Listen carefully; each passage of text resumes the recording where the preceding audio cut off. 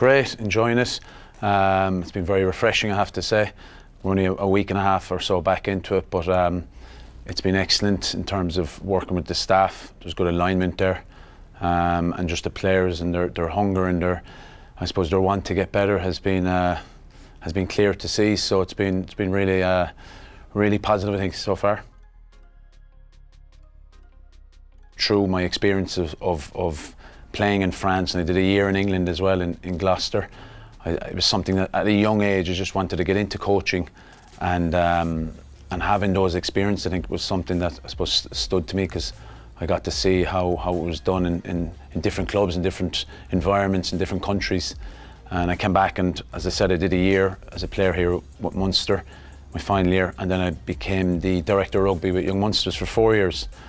I did a small bit with the Munster A's here, so it allowed me, I suppose, um, open the door a small bit and get me back in. There was Ian Costello, who, who, who's with us obviously with the academy. Um, he was the A coach and he provided that opportunity for me. Um, and then from there, I, um, I went searching and I went looking for opportunities and fortunately one came up in, um, in Grenoble through Bernard Jackman who was over there.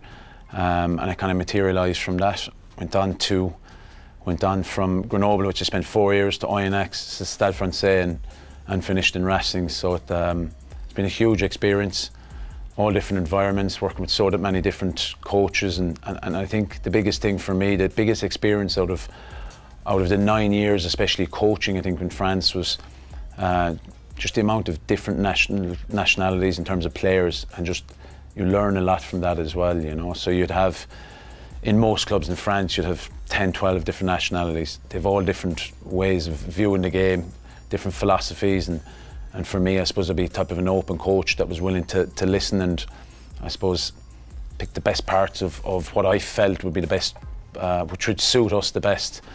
Um, so yeah, huge experience. One we loved as, as one I loved as as a coach, but as a family also. Uh, I won't lie, it's something that I always had in the, in the back of my mind. It was just, I suppose, when the opportunity came up, um, unfortunately it did, when, when um, I suppose Graham contacted me and we, we started to, to chat and, and see what direction we would go in and to come back to a club like this who, who I suppose I'm a local boy, I, I know what the club is about, I played with it. Um, I suppose that you look at the, the infrastructure that's here, this, this um, HPC wasn't here at the time so this is an incredible facility to, to have and obviously you have your, your, your world-renowned Thomond Park which I look forward to as a, as a coach on the Munster side because I've been here once or twice and on the other side as well with Racing as a coach and um, I look forward to that and obviously we'll play some games then down in Musgrave Park and obviously the, the world-class support that goes with this club so uh, there's a lot to be excited for absolutely. Huge amount to be excited about and, and really looking forward to and, and especially working with the, the group as I said we're a week and a half in but you can see with um, with the players how, how much they're they're they want to learn, they want to move forward, and um, and and that's the plan for for us to.